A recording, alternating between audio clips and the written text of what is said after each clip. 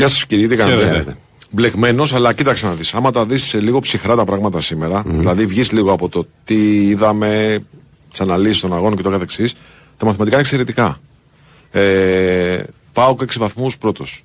Που σημαίνει ότι είναι ορθάνητος ο δρόμος για την. Ε, ε, ακόμα και για την πρώτη θέση στον Έχει την Αμπερντίν τώρα δύο παιχνίδια. Αν τα καταφέρει με την Αμπερντίν, καθαρίζει πρώτη θέση. Ακριβώς. Ακριβώς, Ε, και τώρα το μάτς αυτό είναι ακόμα στο 92. Ναι, δεν έχει τελειώσει. Έτσι, η Αμπερντίν Ελσίνκι είναι στο 1-1. Ε, ακόμα και για τον Ολυμπιακό τα μαθηματικά είναι. Ε, εξαιρετικά δεν είναι, αλλά είναι καλά, διότι θυμίζω η κουβέντα πριν την αρχή των ομίλων ήταν να μείνει ο Ολυμπιακός τουλάχιστον πάνω την Τόπολα. Ε, νομίζω ότι με την σημερινή ισοπαλία αυτό το πετυχαίνει σε ένα μεγάλο βαθμό. Ε, θα πρέπει να χάσει την Τόπολα μέσα για να μείνει πίσω από αυτούς. Ε, για την ΑΕΚ δεν το συζητάμε. Και εδώ το match πολύ ροκ. OK. Okay. Ε, Τέσσερις βαθμοί όμως μετά την ολοκλήρωση της δεύτερης αγωνιστικής και η ΑΕΚ ε, σε εξαιρετική κατάσταση σε έναν όμιλο ο οποίος θα είναι Παναγία βοηθά όταν, όταν βγήκε. Του Παναθηναϊκού τώρα δεν το συζητάω. Ε, ειδικά με την εμφάνιση που είχε. Ειδικά με την εμφάνιση στο δεύτερο ημίχρονο, στο, στο μεγαλύτερο κομμάτι του δεύτερου ημίχρονου, γιατί προς το τέλος ε, βελτιώθηκε και απείλησε μετά τις αλλαγές του Γιωβάνο. Και οι αλλαγές έγιναν πολύ αργά. Καθυστέρησαν. Πολύ. Ε, νομίζω ότι συμφωνούμε σε αυτό ναι, ναι. και ναι. κυρίως καθυστέρησε η αλλαγή του, του Χουάνκαρ ο οποίος ταλαιπωρήθηκε πάρα πολύ σήμερα, από το πρώτο ημίχρονο ταλαιπωρούταν. Και κάνει προ, προξενική απορία γιατί ας πούμε ότι ξέρω εγώ πέρυσι μπορεί να μην είχε backup του Χουάνκαρ και να αναγκαστικά να έπρεπε να παίζει συνέχεια. Mm. Φέτος που υπάρχει ο Μλαντίνοβιτ που είναι μια χαρά παίχτης, ναι. απορεί κανείς για ποιο λόγο έπρεπε να μπει στο 80 φεύγα. Η μόνη εξήγηση που δεν έχω είναι η εξής: Ότι θεωρεί ότι ο Μλαντίνοβιτ είναι ανασταλτικά ακόμα χειρότερος από τον Χουάνκαρ. Έτσι. Ε, και φοβόταν ότι θα εκτεθεί από την πλευρά mm. αυτή. Από την άλλη μεριά όμως, όταν βλέπεις ένα παίχτη να ταλαιπωρείται, χάνει το μυαλό του Χουάνκαρ και τέτοιους παίχτη. Ναι. Δηλαδή, χάνει την κρίνια, φωνάζει, κάνει. Ναι. Μπράβο. Ε, και ειδικά όταν τον βλέπεις ότι δεν τον υπολογίζουν πολύ οι αντιπαλοί, υπάρχει ένα ζήτημα. Καθυστέρησαν αλλαγές. Η αλήθεια είναι πάντως το Παναθηναϊκός φεύγει με ένα σημαντικό αποτέλεσμα ε, από, την, ε, από το Ισραήλ. Τέσσερις βαθμούς μετά από δύο μάτς. είναι ωραίο καμιά φορά να, να στεναχωριόμαστε με ισοπαλίες στην Ευρώπη. Ναι. Ε, είναι ωραίο. Σημαίνει ότι έχουμε, πώς να το πω, έχουμε και τις δυνατότητες ναι. και τις δυνατότητες και τις απαιτήσεις, τις οποίες δεν τις έχουμε μόνο στο κεφάλι μας, μας τις δημιουργούν οι ίδιες οι ομάδες. Εγώ λέω να μην στεναχωριέται κανείς την ισοπαλία να προβληματίζει την εμφάνιση. Μόνο αυτό. Ναι. Ε... Ο βαθμός είναι μια χαρά. Δηλαδή, αν έλεγες από πριν ότι θα περάσει τα δύο πρώτα μάτια του Παναθηναϊκός με Βιγεράλ μέσα και Μακάμπι έξω και θα έχει τέσσερις βαθμούς, πριν το ξεκινήσω θα είναι μια χαρά. το, το, το παίρνω και φεύγω. Ναι, η εικόνα στο τέλος ήταν. Όχι στο τέλος, στο, στο μεγαλύτερο κομμάτι του δεύτερου ημιχρόνου. Ναι. Όπου πιέστηκε πάρα πολύ ο Παναθυναϊκό. Και σε ένα αρκετά μεγάλο κομμάτι του πρώτου που είχε απανοτά λάθη στην άμυνά του από Γετβάη και από Χουάνκαρ που δημιούργησαν καταστάσεις από το πουθενά για τους Ισραηλινούς. Αυτό είναι το θέμα. Ξέρεις τι, δεν κατάφερε ποτέ. Σε ένα, σε ένα πρώιμο κομμάτι της χρονιάς λέγαμε ότι ο Παναθυναϊκό και η Άκη είναι από τις ομάδες οι οποίες παιδί μου έχουν βασικό κορμό χτισμένο και δεν έχουν προβλήματα ομοιογένειας και συνοχής. Εδώ υπάρχει ένα ζήτημα όμως και στην Άκη και στον Παναθυναϊκό ε, λόγω προβλημάτων ή τέλος πάντων διαχείρισης ή προσπάθειας των προπονητών να βάλουν παίχτες σε νέους ρόλους. Η ΑΕΚ έχει περισσότερα προβλήματα, ο Παναθηναϊκός έχει περισσότερα πειράματα ε, στην προσπάθεια αυτή. Ε, δεν υπάρχει αυτή η συνοχή που υπήρχε πέρσι. Δηλαδή, είναι δεύτερο συνεχόμενο παιχνίδι στο οποίο ο Παναθηναϊκός δεν μπορεί να κάνει το παιχνίδι του. Ε, να κρατήσει την μπάλα, να κυκλοφορήσει την μπάλα, να ερεμήσει το ρυθμό του παιχνιδιού. Βλέπουμε σε νέο ρόλο τον Τζέριν σήμερα. Τον έχουμε δει μόνο μια φορά σε ένα ντέρμπι νομίζω του ελληνικού πρωταθλήματος σε ρόλο 10. Νομίζω και φέτος, Αν δεν κάνω λάθος, είναι το πρώτο παιχνίδι που παίζει με τρία χαφ χωρίς δεκάρι στον άξονα του. Ναι, μα υποτίθεται το, το ρόλο του Τσέριν. Ναι, με το περσινό σχήμα που έπαιζε με Κουρμπέλι τότε με Ρούμπεν και με Τσέριν κατά ναι, βάση. Ναι. Φέτος ξεκίνησε όλα τα παιχνίδια και έπαιζε είτε ο Τζούρισιτς είτε ο Μπερνάρ σαν δεκάρι μπροστά από τους δύο ας πούμε κεντρικούς χαφ. Θέλω να πω ότι και αυτές οι ομάδες για διαφορετικούς λόγους η κάθε μία έχουν και αυτή ένα, μια περίοδο προσαρμογής στα νέα δεδομένα. Θα το βρουν αργά ή γρήγορα γιατί είναι καλοί προπονητές και οι δύο. Παρα... Σημαίνει, δεν σημαίνει αυτό, που το έχουν βρει ήδη. Και αυτός είναι ένας βασικός λόγος για τους οποίους ο Παναθηναϊκός σήμερα δεν κατάφερε να ελέγχει το ρυθμό του παιχνιδιού. Και εδώ έχει ξεκολλάει η κουβέντα ότι ίσως θα έπρεπε να είχαν γίνει κάποιες κινήσεις νωρίτερα. Επίσης, να μην την κερδίσουμε τελείως την κουβέντα, αλλά όχι από εκεί που ο Πέρεθ δεν έβγαινε ποτέ από την 11 Σήμερα σε ένα παιχνίδι που ήθελε κοντρόλ ο ρυθμός να μην είναι καν. Ούτε στο προηγούμενο. Ναι, από τους παίχτε που θα σηκωθούν για ζέσταμα. Συμφωνούμε. Είναι πράγματα όμως που ξέρεις. Καμιά φορά τα συζητάμε εμείς, ε, έχοντας τα δεδομένα αυτά των προηγούμενων αγωνιστικών ή τέλος πάντων των προηγούμενων αγωνιστικών. Ο προπονητής έχει των προπονήσεων. Μπράβο. Έχει άλλα στοιχεία από τα οποία εξετάζει και προφανώς πρέπει να σεβαστούμε τις αποφάσεις όλων. Εμείς απλά κοιτάμε λίγο τη διαχείριση των αγώνων. Το ξαναλέω πάντως... για τον Παναθηναϊκό, αν δεν σκοτάψει την Κυριακή με τον Ατρόμητο, η διακοπή μετά θα του κάνει πολύ καλό. Φορτώθηκε παιχνίδια στα οποία δεν είναι μαθημένος να παίζει. Αλήθεια. Γιατί δεν έχει αυτό το Πέμπτη Κυριακή ή ξέρω εγώ Πέμπτη Δευτέρα όπως κάτσει. Είναι ένα πράγμα το οποίο του είναι άγνωστο. και νομίζω θα του κάνει καλό αν κερδίσει τον Ατρόμητο την Κυριακή και δεν έχει απώλεια εκεί. Και δεν είναι μόνο πολλά παιχνίδια, είναι και πολλά δύσκολα παιχνίδια. Γιατί είπε ένα πρόγραμμα βουνό στον Παναθηναϊκό. Ε, ωστόσο, ναι, και εγώ πιστεύω θα του κάνει πάρα πολύ καλό διακοπή. Όπως και στην ΑΕΚ θα κάνει καλό διακοπή, γιατί και αυτή έχει πολλά προβλήματα τραυματισμών. Στον Ολυμπιακό δεν ξέρω αν θα κάνει καλό. Ε, μένει να το δούμε ε, και το πώς θα αντιδράσει η ομάδα μετά από τόσες μέρες. Είναι κακό αποτέλεσμα, σαν αποτέλεσμα λόγω του 2-0 ε, με το οποίο προηγήθηκε ο Ολυμπιακός. Και ο Ολυμπιακός στην πραγματικότητα θέλει παιχνίδια γιατί θέλει να βρει ρυθμό και χημεία. Αλλά πρέπει να το δεχτούμε ότι ο Ολυμπιακός τουλάχιστον στο πρώτο του μοντάρισμα είναι μια ομάδα που πρέπει να βάλει περισσότερα γκολ από τον αντίπαλο για να κερδίσει. Ναι, ναι. Έτσι. Ε, ε, ενώ για τους άλλους δεν ισχύει αυτό απολύτως. Τα μαθηματικά παραμένουν εξαιρετικά. Έχουμε τρεις ισοπαλίες και μία νίκη. Έτσι μας πάει. Τρία-ένα μας πάει. Είχαμε τρεις νίκες, μία ήττα. Τώρα μας πάει τρεις ισοπαλίες, μία νίκη. Πάμε να δούμε τι θα γίνει την επόμενη αγωνιστική. Μάλιστα. Ευχαριστούμε πολύ. Ευχαριστούμε πολύ. Καλησπέρα στα παιδιά, τι κάνετε; Όλα καλά. Χαίρομαι ιδιαίτερα. Ε, λοιπόν, εντάξει, ο Παναθηναϊκός παίρνει μια ισοπαλία ένα βαθμό που είναι πολύτιμο στην οικονομία του, του ομίλου με τα συναισθήματα να ανάμεικτα γιατί κατά τη δική μου γνώμη ε, θα μπορούσε ίσως νωρίτερα να αλλάξει τις ε, ισορροπίες στο παιχνίδι και να δούμε αυτή την εικόνα που είδαμε στο τελευταίο διάστημα του μάτς αν δηλαδή πραγματοποιούσε λίγο πιο γρήγορα τις, ε, τις αλλαγές του. Για παράδειγμα ο Τζούρις ανέβασε όλο τον Παναθηναϊκό και έδωσε άλλη πνοή από τη στιγμή που μπήκε στο δημιουργικό κομμάτι και μετέφερε το παιχνίδι στο, στο, στην περιοχή της Μακάμπη και εκεί φάνηκε σε αυτό το χρονικό σημείο ότι η Μακάμπη δεν ήταν άτρωτη, είχε αρκετές αδυναμίες αν πιεζόταν ψηλά. Ο Παναθηναϊκός βέβαια ε, επειδή ένας όμιλος είναι μια ολόκληρη διαδικασία και οι προπονητές σκέφτονται διαφορετικά ε, μπήκε στο παιχνίδι με μια τακτική να δώσει την μπάλα στους Ισραηλινούς. Στο πρώτο διάστημα δέχτηκε πίεση ε, και έγιναν μία-δύο φάσεις, αλλά ξεπέρασε εύκολα αυτό το διάστημα και μάλιστα από το 15 και μετά όχι απλά ισορρόπησε, αλλά δημιούργησε και δύο φάσεις για γκολ, μία με τον Ιωαννίδη με το δοκάρι και μία με τον Μαντσίνη με την κεφαλιά που πολύ καλό σημείο που δεν κατάφερε να ε, σημαδέψει καλά ο Μαντσίνη. Ε, έκλεισε το ημίχρονο κάπως έτσι. Στο δεύτερο μέρος η, η Μακάμπη ήταν πιο πιεστική ε, και ο Παναθηναϊκός ε, νομίζω ότι το γεγονός ότι ο Μπρινιόλη ήταν ε, ενδεχομένως ο καλύτερος παίκτης του, τα λέει όλο αυτό για το, για το διάστημα του 45 έως το 70-75. Ήταν ένα χρονικό σημείο που ο Παναθηναϊκός ταλαιπωρήθηκε κυρίως από τα αριστερά με τον ε, Χουάνκαρ. Ε, αλλά και με πολλές μπαλιές στην ε, πλάτη της άμυνάς του. Εκεί δεν είχε ισορροπία, έχασε τις περισσότερες μονομαχίες στο κέντρο. Ε, ήταν ένα διάστημα προβληματικό. Αλλά και πάλι είδαμε ότι στο σημείο μετά που σιγά σιγά έγιναν οι αλλαγές από τον ε, Γιωβάνοβιτς προς το τελευταίο κομμάτι του, του μάτς η εικόνα άλλαξε και ο Παναθηναϊκός ε, θα μπορούσε ενδεχομένως να, να πάρει ακόμη και το παιχνίδι στο τελευταίο κομμάτι του αγώνα ε, αν ήταν λίγο πιο δραστήριος και αν ήταν λίγο πιο αποτελεσματικός. Όπως και να έχει, ε, ο βαθμός της οπαλίας είναι καλός.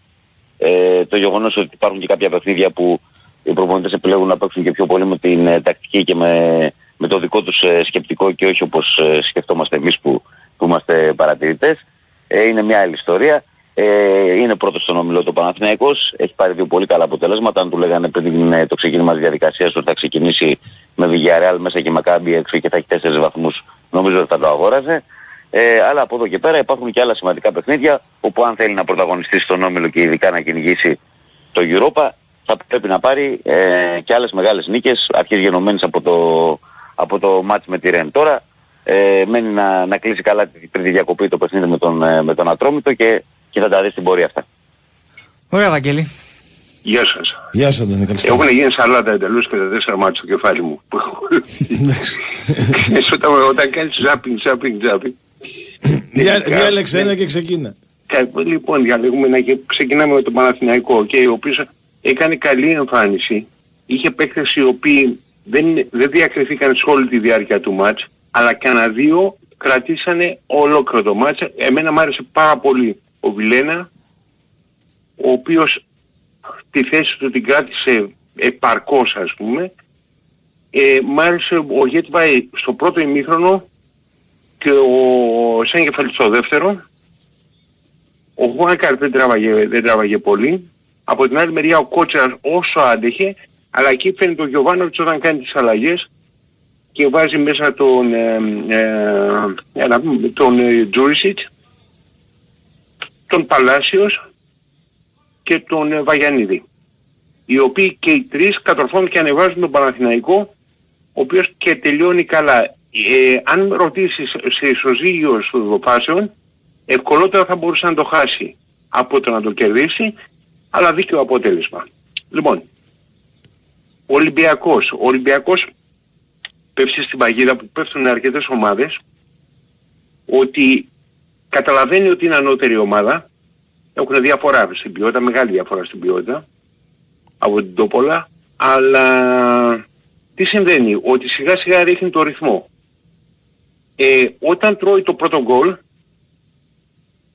πάντοτε οι ομάδες όταν, είναι, όταν νιώθουν ανώτερες, ας πούμε εντάξει 2-0, τελειώνουμε, πάμε ξέρεις, ε, τώρα διακοπή πρωταθλήματος κτλ. κτλ. Ε, μπαίνουν, ξέρεις, μπαίνει, μπαίνει η αμφιβολία.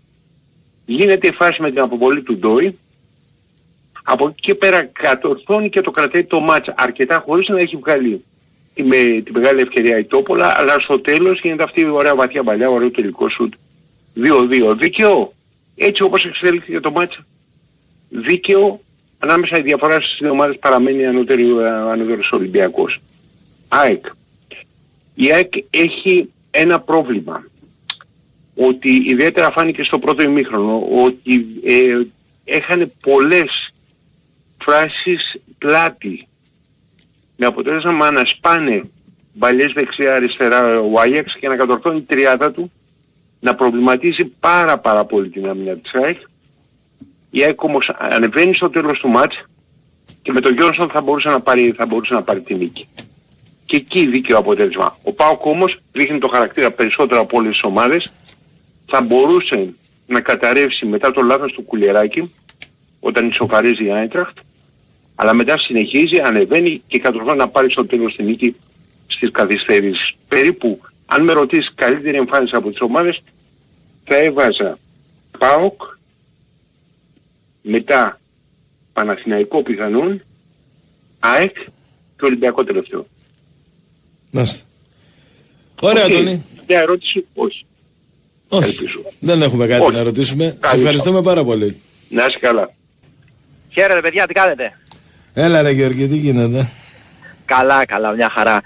Λοιπόν, ε, κοίτα, δεν θέλω να πάω κόντρα στο, στο ρεύμα και στη τελευταία γενική εντύπωση που έμενε από το παιχνίδι της ΑΕΚ ότι εν τέλει έτσι όπως εξελίχθηκαν τα πράγματα ήταν ένα θετικό αποτέλεσμα. Ε, σε μεγάλο βαθμό αυτό οφείλεται και στο Εντάξει, εξέλιξη του άλλου αγώνα. Εντάξει, άλλος ήταν, εσύ, αφού ήταν έφαση. Ε, θε, θετικό είναι σίγουρα. Απλά λέω ότι περι, στην οτροπία την οποία θέλει να περάσει ο Αλμέιδα στην ΑΕΚ και μάλλον έχει ξεκινήσει ήδη να την περνάει αυτή την οτροπία του νικητή νομίζω ότι θα περισσότερο ταιριάζει στο να μένει η ΑΕΚ και στη μεγάλη ευκαιρία που έχασε σήμερα. Είχαν μια πολύ μεγάλη ευκαιρία θα, ε, να πανηγυρίσει μια νίκη η οποία θα την, ε, θα την έκανε τεράστιο φαβορή πλέον και για την πρόκριση στους, ε, στην επόμενη φάση του Europa League, όχι μόνο του Conference, και να πάρει και ψυχολογία και μια φοβερή όθηση για, το, για τη συνέχεια στο πρωτάθλημα και, στο, και στην Ευρώπη. Προφανώς δεν μειώνει όλο αυτό τη, ε, το γεγονός ότι η ΑΕΚ κατάφερε να διαχειριστεί αρκετά καλά ένα παιχνίδι που είχε όλες τις προδιαγραφές για να τη στραβώσει. Δηλαδή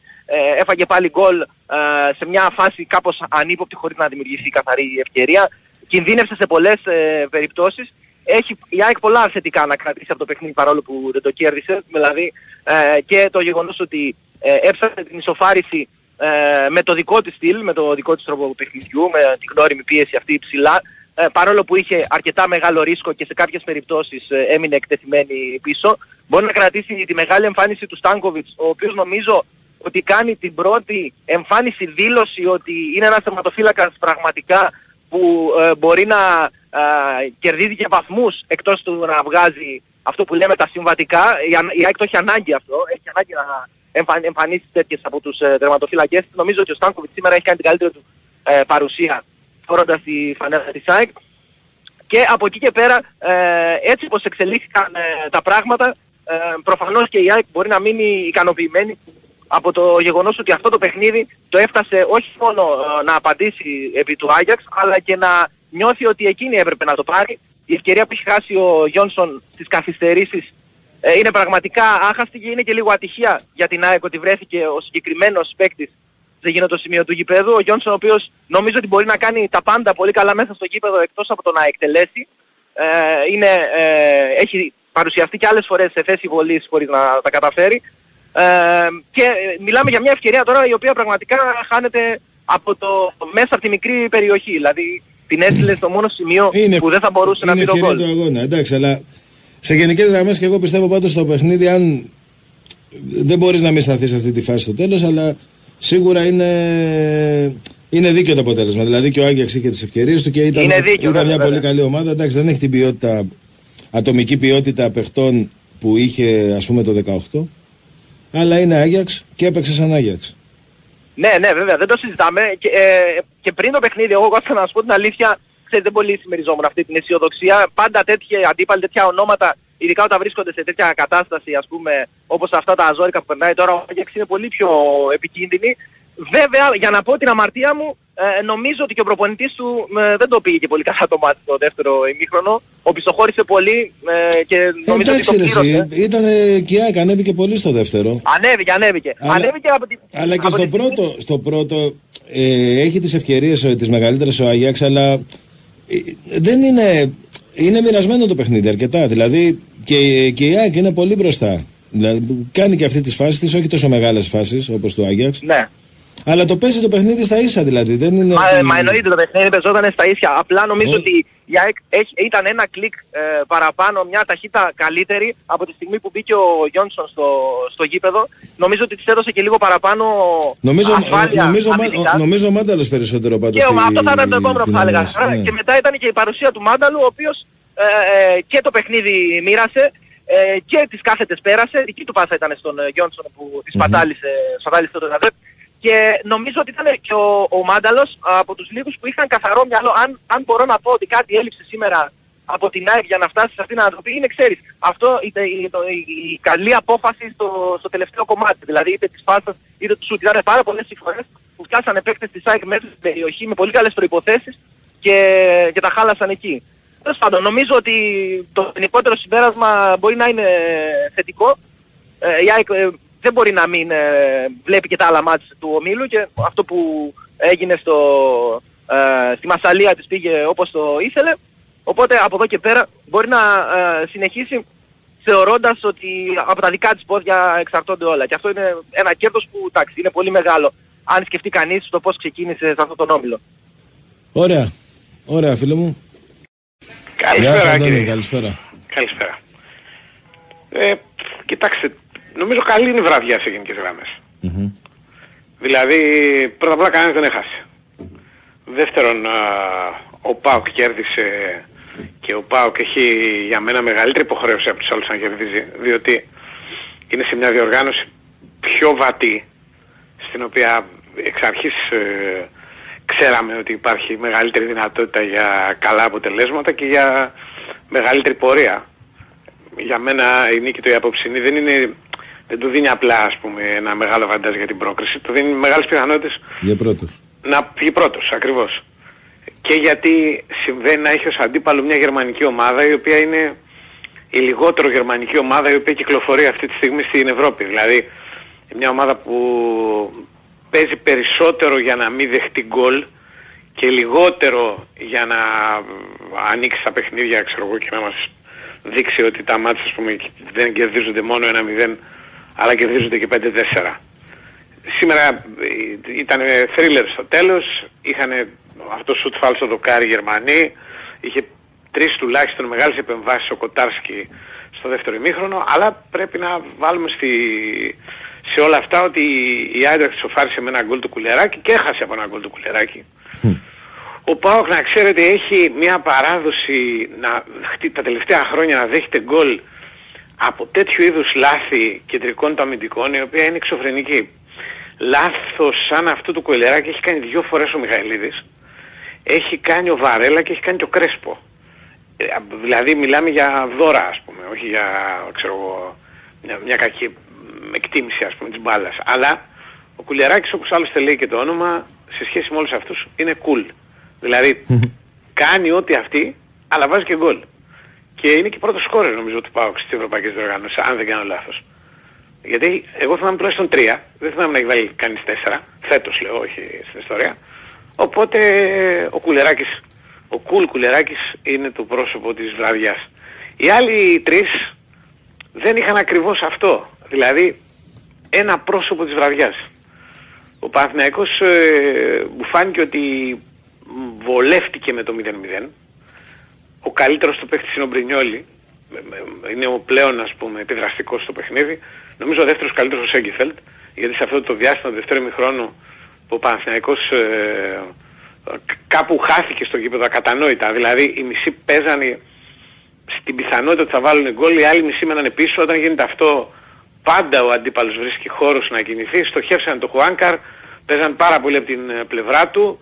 Η Μακάμπη, για να καταλάβει κανείς πόσο φοβήθηκε τον Παναθηναϊκό, κράτησε 75 λεπτά στο, στον πάγκο των Πιερό που είναι όχι απλά ο σέντερφορ της, αλλά είναι πιθανότατα ο μοναδικός παίκτης που σκοράει στα ευρωπαϊκά της παιχνίδια. Λοιπόν, γιατί ακριβώς ήθελε να παίξει την κόντρα, να χτυπήσει το πλάι, περίμενε ότι ο Παναθηναϊκός θα είναι πιο διεκδικητικός, θα κρατήσει περισσότερο μπάλα. Δεν υπήρξαν όλα αυτά. Νομίζω ότι ο Γιωβάνοβιτς με, την, με τις αλλαγές των μεσοεπιθετικών του στο τέλος κράτησε ευκολότερα το χ.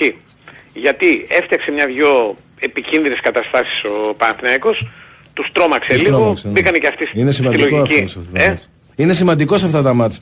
Α, βέβαια. Να, να τον τρομάξει τον άλλον. Βέβαια, γιατί κερδίζει χρόνο. Ναι, ναι. Κερδίζει χρόνο. Και ειδικά είναι σημαντικό να τον τρομάξεις στην πίεση που ασκεί ο, mm, ακριβώς, ακριβώς, ο άλλος. Όχι γενικά και αόριστα. Ας πούμε αυτό δεν έκανε ο Ολυμπιακός. Ο οποίος το 0-2 πίστεψε ότι το παιχνίδι τελείωσε. Ε, μου φάνηκε ότι ακόμα και οι αλλαγές οι οποίες έγιναν, οι πρώτες αλλαγές τουλάχιστον, ε, όχι αυτές που γίνανε μετά την αποβολή, ήταν λίγο στη λογική, εντάξει, το μάτς τελείωσε, ας δούμε και το Σολμπάκεν ας πούμε. Ε, ας δώσουμε και λίγο χρόνο στον Γιώβιτιτς. Εντάξει, αυτά μπορεί να τα κάνεις στα Γιάννα, αλλά ας πούμε στις ευρωπαϊκές διοργανώσεις ε, είναι ρίσκο μεγάλο. Απ' την άλλη, πολύ φοβάμαι ότι η αυτονομία του Φορτούνη και του Ποντένσε είναι εκεί γύρω στα 60-65 λεπτά σε αυτό το επίπεδο. Οπότε αυτά τα πράγματα μπορεί να έγιναν και λίγο υποχρεωτικά. Το σίγουρο είναι ότι ό,τι ακολούθησε ήταν υποχρεωτικό. Δηλαδή με την αλλαγή του Ντόι έπρεπε να βρεθεί ένας τρόπος κάπως, εν πάση περιπτώσει, να προστατευτεί η άμυνα. Αλλά δεν γίνεται έτσι. Δηλαδή, ο Ολυμπιακός θα πρέπει να προβληματιστεί πάρα πολύ σοβαρά μετά από αυτό το παιχνίδι και δεν ξέρω αν θα το κάνει ειλικρινά. Γιατί εδώ υπάρχει τώρα ένα θέμα ότι όλοι πιστεύουν, πρώτα απ' όλα οι οπαδοί του, ότι πάει καταπληκτικά στο πρωτάθλημα. Οπότε δεν υπάρχει λόγος ας πούμε ε, περαιτέρω προβληματισμών και οτιδήποτε ας πούμε μπορεί να, να πειράξει ας πούμε αυτή την εικόνα της αρχής. Απ' την άλλη εγώ λέω ότι όταν παίρνεις μέρος σε ευρωπαϊκές διοργανώσεις παίζεις δύο παιχνίδια. Στο πρώτο παιχνίδι δέχεσαι τρία γκολ. Έχεις χαρίσει τα δύο. Και στο δεύτερο δέχεσαι άλλα δύο γκολ. Τα οποία επίσης εν πολλής τα έχεις χαρίσει. Θα πρέπει κάτι να αλλάξεις. Εκτός αν δεν έχει σκοπό στις ευρωπαϊκές διοργανώσεις φέτος να κάνεις τίποτα και θα πάρεις μέρος στα επόμενα παιχνίδια Vival Football που λέει ένας γνωστός μου. Δηλαδή όσα πάνε και όσα έρθουν ωραία περνάμε. Λοιπόν, ε, δεν γίνεται δηλαδή να έχεις δεχτεί πέντε γκολ σε δύο μάτς και να μην προβληματιστείς πρώτα απ' όλα για το αν το σχήμα αυτό με τους δύο μόνο half είναι λειτουργικό και αποδοτικό. Αφήνω στην άκρη της άμυνας, τα υπόλοιπα έχω βαρθεί να τα λέω, έτσι κι αλλιώς καταλαβαίνω ότι δεν είναι ποτέ προτεραιότητα ρε παιδί μου να βρεθούν αμυντικοί ας πούμε οι οποίοι να πάρουν μεγάλα συμβόλαια κτλ. Τα λεφτά τα παίρνει η επίθεση. Πολύ ωραία. Και τέλος υπάρχει η ΑΕΚ που ήταν το μακράν πιο ενδιαφέρον παιχνίδι. Ένα παιχνίδι που θα μπορούσε και να το κερδίσει και, και μάλιστα όταν ήταν το Γιόνσον απέναντι από τον Αθλήκα λέω το κέρδισε στο 89 περίπου, 88. Ναι, είχε, είχε την τελευταία μεγάλη ευκαιρία, ρε παιδί μου. Αυτό, ναι, ναι, ναι, αυτό πάντα σε, σε σκοτώνει, ξέρεις, σου μένει. δεν ήταν η τελευταία μεγάλη ευκαιρία. Και η μεγάλη μεγαλύτερη ευκαιρία του μάτς. Μπράβο, ναι. Δηλαδή δεν ήταν απλώς ότι υπήρξε ένα καρδιοχτύπη. Εκεί ήταν το μάτς. Ναι. Δηλαδή αυτή είναι και η διαφορά αυτό που είπα πριν. Ο ΠΑΟΚ βρήκε το κουλεράκι. Η ΑΕΚ δεν βρήκε κάποιον να κάνει το κουλεράκι. Δηλαδή να σπρώξει την μπάλα στα δίχτυα τη στιγμή της ε, τελικής πίεσης ας πούμε. Αλλά η ΑΕΚ έχει, έχει και ένα θεματάκι μεγαλύτερο. Δηλαδή η ΑΕΚ πρέπει να έχει να κερδίσει εντός έδρας παιχνίδι σε ευρωπαϊκή διοργάνωση καμιά δεκαετία. Ενώ σε φάση ομίλων, Λοιπόν, αυτό είναι ένα θέμα. Δεν, δεν είναι θέμα, ας πούμε, του Αλμέιδα και της φετινής ομάδας. Είναι με... Κάτι, κάτι σημαίνει. Εγώ δεν πιστεύω ότι είναι, ξέρω όλο, όλο αυτό, ας πούμε, θέμα ατυχίας ή οτιδήποτε. Ενδεχομένως αυτά τα παιχνίδια βαραίνουν λίγο περισσότερο την ΑΕΚ ως οργανισμό. Δηλαδή υπάρχει μια μεγάλη θέληση να ικανοποιήσεις το κοινό σου, να κάνεις κάτι ας πούμε το οποίο να είναι σπουδαίο και ιστορικό και αυτό το πράγμα γίνεται λίγο μπούμεραγκ. Εμένα μου φάνηκε ότι σήμερα για παράδειγμα στην αρχή υπήρχε αυτό το πράγμα. Δηλαδή ότι σαν η ΑΕΚ να βρει και έναν αντίπαλο ο οποίος φάνηκε στο γήπεδο πιο δυνατός από αυτό που περίμενε και κάπου στην προσδοκία που είχε καλλιεργήσει δεν μπορούσε να ανταποκριθεί με αποτέλεσμα να έχει και προβλήματα. Εκεί είναι αλήθεια ότι ήταν καθοριστικός ο, ο Στάνκοβιτς. Ε, πιστεύω ότι είναι η καλύτερη εμφάνιση του Στάνκοβιτς από τότε που έχει στην Ελλάδα σήμερα. Τουλάχιστον αυτή η οποία είναι μετράει περισσότερο στο τελικό αποτέλεσμα. Από όσο θυμάμαι, δεν ξέρω Κώστα, θυμάσαι καμιά άλλη ας πούμε. Ναι, ναι, όχι, θα συμφωνήσω μαζί σου. Α, αντίστοιχα. Γιατί Ε, κοίτα, ήταν πολύ καλή. Και, γε- είναι γενι- ένα μάτσο ας πούμε, στο γενικά οποίο είναι πάντως δύσκολο να γίνει κριτική. Πάει Υπό την καλά έννοια φέτος. ότι, ότι στο τέλος είμαι βέβαιος ότι ο κόσμος έφυγε από το γήπεδο λέγοντας κοίτα αν δεις την ευκαιρία χάσαμε. Αλλά θα μπορούσε να έχει πάει στο 0-2 ο Άγιαξ αν δεν ήταν ο Στάνκοβιτς και τώρα να συζητάμε αλλιώς. Ο Άγιαξ προφανώς δεν είναι στην καλύτερη του κατάσταση. Ήρθε και με κάποια παιδάκια. Αλλά έτσι είναι. Ε, καλά, πάντα με παιδάκια έρχεται. Πάντα με παιδάκια έρχεται ακριβώς. Ε, ε, Και ξέρεις τι, σήμερα- δεν έχει, εγώ ξέρεις τι παρατήρησα, επειδή Ναι. τον έχω δει και το 95 και το 18 live. Ναι, ναι. Υπάρχει διαφορά, ρε παιδί μου, στην ατομική ποιότητα. Δηλαδή, ναι ε, το να σου το πω 18 είχε διαφορετικά. πέντε παίχτες με ατομική ποιότητα πολύ μεγάλη. Πού πήγανε και σε Υπά- άλλες ομάδες; Υπάρχει μια διαφορά στην προσωπικότητα εγώ νομίζω. Δηλαδή δεν είναι ότι αυτοί που παίζαν σήμερα είναι λιγότερο καλοί με την μπάλα. Αλλά δεν σου δίνει την εντύπωση ρε παιδί μου αυτός που ξέρω εγώ που έτρεξε πάρα πολύ την ΑΕΚ που ήταν ο Μπερχάους που ήταν από τους καλύτερους Ναι, ότι αυτός είναι ήταν ας πούμε και ο match καλύτερος, winner. Δηλαδή ότι ε, θα στο βάλει τον γκολ. Ενώ ας πούμε κάποτε κατέβηκε ο Κλάιμπερ, ο, συγγνώμη, κατέβηκε ο Κλάιμπερ στο γήπεδο και λες τρεις φορές άμα την αγγίξει τη Εντάξει, βάψαμε. εκείνος ο Άγιαξ ήταν τρομα- τρομακτικός. Ναι, Εντάξει, βέβαια. πήρε και το Champions League εκείνη Πήρε τη το χρονιά. Champions League. Αλλά αν θυμάσαι όταν ξεκίνησε εκείνη τη χρονιά δεν ήταν τα, στα φαβορή του, Όχι, δεν ήταν. του, του, του Απλά- Champions League. Δεν απλά έλεγε τότε, κανένας ρε παιδί ότι μου, όπα παιδιά. δεν ξέρω, Λέγανε εντάξει. βέβαια. Ή- ήταν Λέγανε και βέβαια αλλιώς ότι τα αυτή είναι χρόνια- μια ομάδα που έρχεται. Ναι. Αλλά όταν τους έβλεπες κατά λάθος γιατί Πάντως τα ναι, λέγανε μέ- αυτά μέσα τα στο πράγματα. γήπεδο τότε ήταν, ήταν το κάτι άλλο γιατί και η Άκη ήταν πολύ καλή. Και, Βεβαίως. και στο μάτσο Το- το- εκείνο το ήταν πολύ 2-0. καλή. Το δηλαδή 2-0 και στην Ολλανδία. προηγήθηκε. Αυτό δεν λες. Ε, λέω, λέω το 1-2 στη Φιλαδέλφια. Στην άλλη Φιλαδελφία. Εγώ και τα δύο παιχνίδια εκείνα τα θυμάμαι ως καλά παιχνίδια της ΑΕΚ. Ναι, και το 2-0 το πάλεψε. Απλά ήταν Και το προς το 2-0 το τέλος. πάλεψε, ναι, ναι. ναι, ήταν προς το τέλος. Νομίζω δεν είναι το τελευταίο μάτς του, Ναι. του, του ομίλου. Α, ε, Επίσης και το 18 όμως έβλεπες, ρε παιδί μου, σου λέω, ε, εγώ Υπήρχε, επιμένω, υπήρχε. επιμένω στην ατομική ποιότητα. Δηλαδή, Ναι, ρε παιδί μου, υπήρχαν, εί- υπήρχαν και τάντιτς το 18. ναι, ναι, υπήρχαν, δηλαδή... Είχε τρει-τέσσερι παίχτες δηλαδή που ήταν Ναι, ναι. άλλο επίπεδο και πήγανε Ναι. μετά και σε, μεγάλες, σε μεγαλύτερες ομάδες. Η αλήθεια πάντως είναι ότι είναι και σε μια στιγμή... Αλλά πάντα δηλαδή- είναι άγια ρε Αντώνη. Δηλαδή. Ναι, αλλά τους πάει και, και λίγο... Πώς να σου πω, δηλαδή στραβά. Δηλαδή, παίζουν το πρώτο παιχνίδι, προηγούνται με δύο γκολ με τη Μαρσέη. μμμ. Δεν το παίρνουν, δεν το κρατάνε το αποτέλεσμα. Σήμερα κάνουν κατά τη γνώμη μου ένα πολύ καλό πρώτο ημίχρονο. Ναι, πολύ καλό. Τουλάχιστον για το...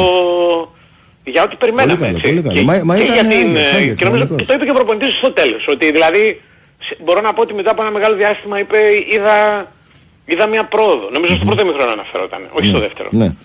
Και στη Αλλά- συνέντευξη τύπου μετά είπε ότι.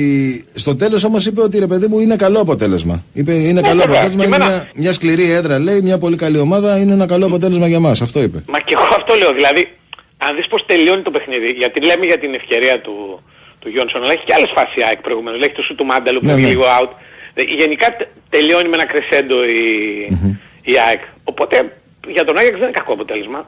Εν τέλει και για την ΑΕΚ δεν είναι καλό Όχι, αποτέλεσμα. δεν είναι, δεν είναι είναι. κακό αποτέλεσμα. Δεν είναι, όχι. δηλαδή με την ισοπαλία που ήρθε στο άλλο μάτς, οι τέσσερις βαθμοί δίνουν μια, α, μια κορυφή και μια κάποια ασφάλεια και πάει η ΑΕΚ να παίξει τώρα Είναι Ακόμα μέσα και ρε την παιδί μου. πρωτιά Είναι θα μέσα δούμε σε έναν μάτς όμιλο Μαρσέη. τώρα Το- που δεν το περιμέναμε κακά τα ψέματα. Ναι, απ' την άλλη περιμέναμε τι, ότι ο όμιλος είναι δύσκολος. Δηλαδή δεν- είναι ένας όμιλος που δεν σε αφήνει να Ε, Θα ησυχάσεις, μπορούσε να δεν έχει λες- 0 πόντους ρε. Και, και πάλι να λέγαμε, οκ, εντάξει, έχει 0 Ναι, ναι. πόντους. Α, ε, ε, το Δηλαδή κακό δεν Κώστα θα μου είναι γινόταν ότι και σε λαϊκά αυτόν τον δικαστήρια όμιλο- αν είχε 0 πόντους. Αυτό εννοώ, κατάλαβες. Ναι, ναι, ναι, κατάλαβα. Α, το κακό είναι σε αυτόν τον όμιλο και 0 πόντους να είχε η Μαρσέη, πάλι θα ήταν δύσκολα τα δύο παιχνίδια. Έτσι, ακριβώς, ακριβώς. Αυτό είναι το... Ε, βέβαια. Γιατί με 6 με έξι σε περνάει κατευθείαν. Βέβαια. Μόνο με αυτά τα δύο μάτια. Και γιατί είναι και η Μαρσέη. Ναι. Έτσι. Δεν είναι, δηλαδή δεν έχεις ένα, ξέρω εγώ, μια ομάδα η οποία θα πεις ότι εντάξει, με αυτούς εδώ πέρα τώρα ρε παιδί μου θα πάρω μια ανάσα ας πούμε.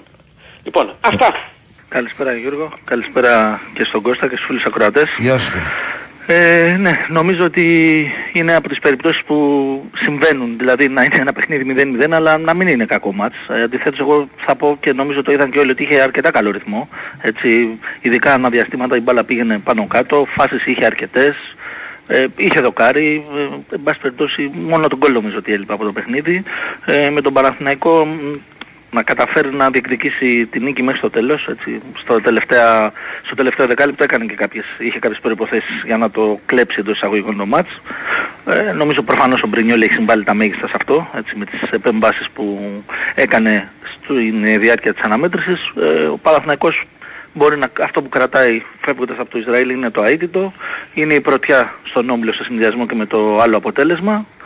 Ε, νομίζω είναι για την οικονομία της, ε, του ομίλου και για την προσπάθειά του να προκριθεί, να συνεχίσει στην Ευρώπη και μετά Δεκέμβρη ένα αποτέλεσμα το οποίο αν πριν το παιχνίδι λέγαμε παιδιά ότι δεν θα είχαν Παναθηναϊκός, δεν νομίζω ότι θα ήταν και πολύ δυσαρεστημένοι, έτσι, με το να πάρει τον ένα βαθμό. Και Σπύρο έχει κρατήσει και το 0 και στα δύο μάτια. Βέβαια, σωστό. Ε, πλην του Ιταλού που έχει όπως είπες και εσύ Γιώργο δύο clean sheets σε δύο μάτς στη φάση των ομίλων. Νομίζω ότι και ο Σέγκεφελντ είχε κάποιες ε, καθοριστικές επεμβάσεις έτσι, ε, στο δεύτερο ημίχρονο όπου ομολογουμένως οι πράσινοι πιέστηκαν αρκετά. Ε, στο πρώτο μέρος που είχε ένα καλό διάστημα το έλεγχε νομίζω ο Παναθηναϊκός ε, μετά το, από το δοκάρι και μετά μέχρι το ένα 20 λεπτό από το 17 στο πούμε έτσι χοντρικά μέχρι το 37 ε, ήταν και τα χάφτου νομίζω σε έπαιξαν αυτό τον ρόλο που είχαν ελέγξει το ρυθμό το καταιγιστικό με τον οποίο ξεκίνησε η Ισραηλινή ομάδα. Ο Αράο δηλαδή και ο Μπερνάρ κατά κύριο λόγο ε, ήταν αρκετά δραστήριοι. Ε, εντάξει, στο δεύτερο ημίχρονο φυσιολογικά πίεσε ακόμα περισσότερο, μπήκε έτσι με το μαχαίρι στα δόντια η Μακάμπη. Ε, νομίζω εγώ ότι έπαιξε ένα ρόλο και η κούραση που έβγαλαν από ένα σημείο και μετά οι πράσινοι. Έτσι. Ειδικά η αμυντική τους γραμμή νομίζω τα παιδιά αυτά παίζουν σε πολλά παιχνίδια οι ίδιοι και οι ίδιοι. Ε, και εντάξει, στα στόπρα πούμε δεν νομίζω ότι είχε λύσεις ο Γιωβάνοβιτς δεν θα μπορούσε να κάνει κάτι πέραν του να πέρναγε τον Αράο κάποια στιγμή μες στο μάτς ε, στο κέντρο της άμυνας. Δεξιά επίσης ο Κότσερας που έχει πάρει πολλά παιχνίδια σε ρί λόγω του τραυματισμού του Παγιανίδη. Αριστερά OK, okay, ε, ο Χουάνκαρ δεν είχε καλή βραδιά σήμερα νομίζω εγώ ότι ίσως να έκανε και το χειρότερο του παιχνίδι όλα αυτά τα χρόνια που βρίσκεται στον Παναθηναϊκό. Εκεί ενδεχομένως ο Μλαντένοβιτς να μπορούσε να έχει μπει λίγο νωρίτερα. Αλλά σε κάθε περίπτωση ξαναλέω ότι αυτό που κρατάει ο Παναθηναϊκός είναι ότι σε δύο ματς έχει τέσσερις πόντους. Πηγαίνει τώρα στη Διάδα με τη Ρεν η οποία ε, πιθανότατα είναι αυτή τη στιγμή έτσι όπως φαίνεται μια ομάδα που είναι η πιο δύσκολη για τον ε, Παναθηναϊκό. Ε, προφανώς θέλει να προστατεύσει την έδρα του σε πρώτη φάση. Ε, αν μπορέσει να πάρει και στη Γαλλία κάποιο αποτέλεσμα, νομίζω θα έχει κάνει πολύ μεγάλο βήμα για, το, για μία εκ των δύο πρώτων θέσεων. Σε διαφορετική περίπτωση, οτιδήποτε πάρει από έναν έως τρεις βαθμούς, ε, με βάση και τα ήδη διαμορφωμένα δεδομένα έτσι, δηλαδή ότι έχει αυτή τη στιγμή ο Παναθηναϊκός 4, η Villarreal 3 και η Ρεν 3 και 1 η Μακάμπη. Ε, θα περιμένει τους ε, Ισραηλινούς στο μάτς ε, στην ε, έδρα του ε, δεν λέμε ο Άκα γιατί είδαμε τι έγινε με το Άκα, πιθανότατα στείλει λεωφόρο, προκειμένου να τους βάλει από κάτω και να μπορέσει να συνεχίσει στο Conference League. Φυσικά έχει ο Παναθηναϊκός να κλείσει τις υποχρεώσεις του, έτσι έχει και το παιχνίδι με τον Ατρόμητο την Κυριακή, όπου και εκεί θα πρέπει να μπορέσει να πάρει το τρίποντο για να την κλείσει αυτή την εβδομάδα, να πάει μετά στην διακοπή, να μπορέσουν να αναδιοργανωθούν και σε επίπεδο τραυματισμών και σε επίπεδο διαχείρισης δυνάμεων. Αυτά νομίζω σε γενικές γραμμές. Ωραία, ωραία. Σε ευχαριστώ, φίλε. Να σε καλά. Καλό σου βράδυ. Έλα, Νικολά. Έλα, ρε Νικό Παγκάκη, τι γίνεται; Καλησπέρα, παιδιά, τι κάνετε; Τη μεικτή ζώνη με πετύχατε καλά, είστε; Τι λέει η Χάιφα, εντάξει; Τι λέει η Χάιφα, ε, ναι, κοίτα, έχει ωραία μέρη και κάποια ιστορικά μέρη. Έχει και αρκετή συγκίνηση χθες στο Πατριαρχείο που, που πήγαμε, ξέρεις, με την, με την ομάδα και είναι πάντα πολύ ιδιαίτερο. Μπράβο, Πάντα μπράβο. πάντα από την ιστορία. Και γενικά έχει, έχει κάποια μέσα. Απ' την άλλη έχει και κάποια, είναι και λίγο γκρίζα πόλη. Ωστόσο έχει κάποια καλά στοιχεία. Δεν τις γραμμές. Ωραία. Για πάμε και στο Λοιπόν, παιχνίδι. ελπίζω να είστε καλά κι εσείς. Μια χαρά, Ε, μια χαρά, φίλε. νομίζω ότι ήταν ένα καλό 0-0, όσο και αν ακούγεται παράξενο, γιατί διατηρεί τον Παναθηναϊκός στην πρώτη θέση, γιατί δεν έχασε, όπως είπε και ο Γιωβάνος στην συνέντευξη τύπου, ε, κόντρα σε μια ομάδα δύσκολη πάντα στην Ευρώπη, δεν είναι ποτέ εύκολο το το αποτέλεσμα του Σέβρανς. Ήταν μια ομάδα που μπορούσε να χτυπήσει, ο Παναθηναϊκός μπορούσε να κάνει την ζημιά όμως. Το πρώτο 20 λεπτό εμένα μου φάνηκε ότι ο Παναθηναϊκός δεν είχε αυτή την ένταση και με τους συγκέντρους που πρέπει για το Σέβρανς μάτς. Κατάφερε να ισορροπήσει στη συνέχεια, ε, είχε καλύτερο του παίκτη ξεκάθαρα το, τον Μπρινιόλι. Αυτό δεν ότι χρειάζεται να μειθεί αρκετές φορές. ε, και κατάφερε να ισορροπήσει και με τις αλλαγές στο τέλος να δώσει όθηση και να το να χτυπήσει το παιχνίδι. Ε, νομίζω μπορούσε να κυφθεί και με το διπλό με λίγο περισσότερο αυτοσυγκέντρωση στο τέλος ή ε, εάν, τώρα υποθετικά μιλάμε βέβαια πάντα, ε, αυτές τις αλλαγές έγιναν και λίγο αργά για μένα. Δηλαδή με το που μπήκαν όλοι, όλοι αυτοί, όλη η δεξιά πλευρά που άλλαξε ο Βαγιανίδη Παλάσιος και αριστερά ο Μπλαντένοβιτς, άλλαξε και όλο το αγώνα για τον Παναθηναϊκό και είναι πολύ πιο επιθετικός. Ε, κάτι έλειπε όμως σήμερα στην τελική προσπάθεια. Το συγκέντρωση ήταν, δεν ξέρω, κούρα ήταν, γιατί είναι και πολλά σερικά παιχνίδια. Ανακατεύει τώρα από τον Γεβάνο, το είπε και ο ίδιος ότι του λείπουν τους κάτι κωδικοί παίκτες. Ε, γενικά για ένα ευρωπαϊκό παιχνίδι, γιατί παιδιά εδώ πραγματικά εγώ δεν είχα, έχω πάει στο Τελαβίδι το Παναθηναϊκό, αλλά σήμερα στη Χάιφα πρώτη φορά και είδα ένα γήπεδο πάρα πολύ θερμό, πολύ ωραίο γήπεδο καταρχάς, σαν μειόφθορα, ανακοινισμένο και πολύ δυνατή έδρα. Ήταν όλο το γήπεδο ένα. Όλο το γήπεδο ένα. Με πολύ ένταση από την, και σπίθα ας πούμε από την, από την εξέδρα. Ε, ο Παναναϊκός κατάφερε επειδή και αυτό το, το στριγγυλό σαν άμυνας όσο και έρχεται τα προβλήματα, έχασε πολύ μονομαχίες βέβαια στην μεγάλη περιοχή. Κατάφερε σαν οντότητα, σαν ομάδα εννοώ, να, να έχει το πνεύμα ας πούμε ότι ένας για ένας για όλους και όλοι για έναν. Κατάφερε να πάρει ένα χ εδώ. Ένα χ που είναι καλό όπως το βλέπεις τώρα σε αυτή τη στροφή γιατί είναι πρώτος, είναι πίσω Villarreal που πρέπει να κερδίσει τους υπόλοιπους που λέγαμε κτλ. Ε, καθιστά όμως και ένα, κατά τη γνώμη μου, ένα, το, το επόμενο ραντεβού με τη Ρεν ε, ως ένα παιχνίδι πολύ έτσι κομβικό για τον Παναθηναϊκό και οι δύο να μετρήσει με την Ρεν θα είναι. Ε, δεν πρέπει ο Παναθηναϊκός να χάσει εκεί γιατί αν χάσει αυτομάτως θα μπει από κάτω. Και η Ρεν είναι μια αθλητική ομάδα, σήμερα έχασε δύσκολα τη δουλειά που δεν είναι στα καλύτερα της, αλλά έστω και έτσι μπορεί να κερδίσει. Οπότε έχουμε ακόμα αρκετά παιχνίδια δύσκολα. Τα δύο επόμενα είναι πολύ κομβικά νομίζω για το άφηση της Παναθηναϊκός στην Ευρώπη. Ε, και αυτό που τώρα πλέον φαίνεται μάλλον ως πλεονέκτημα πρέπει να το εκμεταλλευτεί ο Παναθηναϊκός να μην γίνει μειονέκτημα έτσι, με, με μια ετακή. Γενικά πάντως ήταν ένα ήρεμο παιχνίδι με πολύ ωραία ατμόσφαιρα ποδοσφαιρική και ένα κρύο ε, με αποδοκιμασίες για τους γηπεδούχους 0-0 παιδιά στο τέλος. Δηλαδή γιούχαρα τον κάτω για να βιαστεί και αυτός καθυστερούσε για να πάρει το σχήμα κάμπι. Ε, δεν ξέρω τώρα τι σκέφτεται όταν εκεί. Ε, γενικά είναι λίγο περίεργο το κλίμα εδώ ε, και με τον προπονητή τα έχουν οι οπαδοί της Μακάμπι Χάιφα. Ε, σήμερα μας έλεγαν και στο, και στο ταξί και όλες οι εφημερίδες έγραφαν ότι είναι φαβορή ο Παναθηναϊκός και περίμενε ένα δύσκολο βράδυ, δεν έχει εξελιχθεί έτσι, αλλά δεν πάει ο Παναθηναϊκός να έφυγε αλόβητος από μια, από μια θερμή. Δεν ξέρω, δηλαδή έδειξε και κάποια ψήγματα η Μακάμπι ότι και οι υπόλοιποι σου συμπεράσουν σε εύκολα. Από το δεν ξέρω για την Γερά, αλλά τουλάχιστον τη Ρεν. Ήταν το 3-0 που, που ξέρεις έξω. Αυτά, αύριο γυρίζει αποστολή το, το απόγευμα, ε, θα πετάξει από εδώ, με 18 μέτρα ασφαλείας και πάει για Ατρόμητο αυτή την Κυριακή. Εκλογές για Ατρόμητο. Έτσι. Ωραία Νίκο. Καλησπέρα. Γεια σας, γεια σας, καλημέρα, καλημέρα. Ε, ναι, ε, αυτό είναι το ποδόσφαιρο. Προχθές ο ΠΑΟΚ στο φινάλι των καθυστερήσεων έχασε δύο βαθμούς από τον ε, Παναθηναϊκό. Σήμερα στις καθυστερήσεις παίρνει ε, τους βαθμούς από την Άιντραχτ.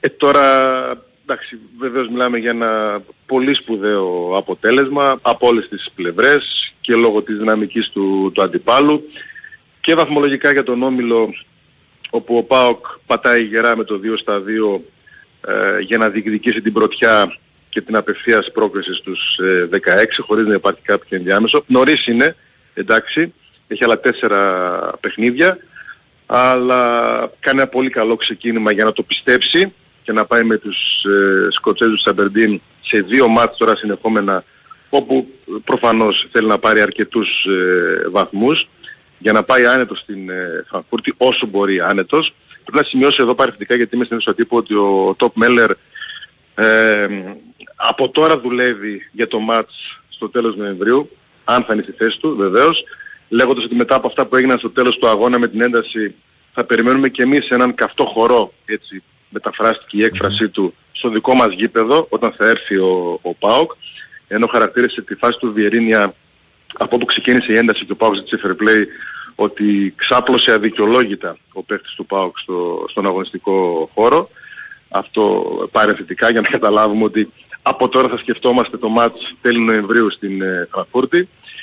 Ε, ήταν και η πιο δύσκολη στιγμή της βραδιάς όπου αποβλήθηκαν ο Τραπ και ο Μεϊτέ είχε, είχε πολλές εντεγκλήσεις, είχε μεγάλη ένταση μεταξύ τι, των πάγκων. Ε, τι έγινε Δημήτρη, πλακώθηκαν αυτοί, πώς ε, κατάλαβες πως γιατί αποβλήθηκαν; Πλακώθηκε πολλοί κόσμος, γενικώς είχε mm-hmm. πολύ σμπρόξιμο, πολλές αντεγκλήσεις. ο διαιτής είδε μεταξύ άλλων τον Τραπ και τον ε, Μεϊτέ. Ο Γερμανός δεν μπορούσε να το χωνέψει. Τον είχε το διαιτή μέχρι τέλους, τον πήγαινε καροτσάκι όπως λέμε για να διαμαρτυρηθεί. Ναι, το είδαμε, το είδαμε και στη τηλεόραση. Γιατί ναι. επέλεξε εκείνον να αποβάλει ενώ είχε πάρα πολύ κόσμο εκεί που είχε και, και μεγάλη ένταση.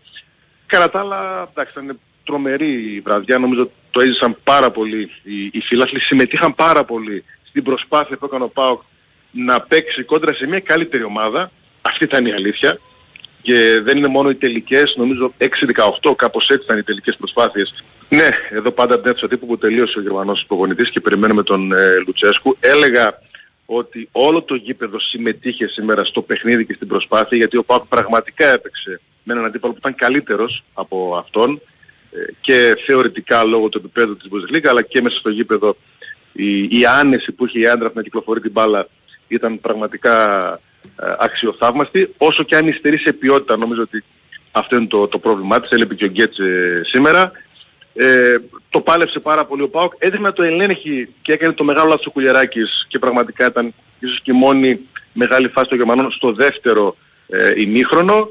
Ε, αλλά τα, τα φέρνει έτσι το ποδόσφαιρο είναι πραγματικά με, μεγάλο μάθημα για, για όλους. Τους τρώνε την μπάλα στις καθυστερήσεις και τις μπρόχνει στα δίχτυα και γίνεται ε, ο ήρωας που αποθεώθηκε στα τελευταία λεπτά. Η νίκη είναι τεράστια για τον ΠΑΟΚ γιατί έρχεται διακοπή και τον βοηθάει πάρα πολύ να δουλέψει. Ο ΠΑΟΚ εξακολουθεί να είναι μια ομάδα που φτιάχνεται, μια ομάδα που τώρα βάζει τον Σαμάτα, τώρα βάζει τον Οσντόεφ, τον Μεϊτέ ε, και θέλει τέτοια αποτελέσματα για να πάει αυτοεπίθεση στο κάτω-κάτω. Αυτοί οι παίκτες σήμερα ξεκίνησαν και για αυτόν τον λόγο για να αξιοποιηθεί το μάτς και να βοηθήσει η ομάδα αυτούς τους ποδοσφαιριστές να, να μπουν στο κλίμα γιατί χθες όλους τους παραδέχτηκε ότι πνευματικά υστερούν ακόμα στη συνοχή και στη συμμετοχή τους στην, ε, στην ομάδα.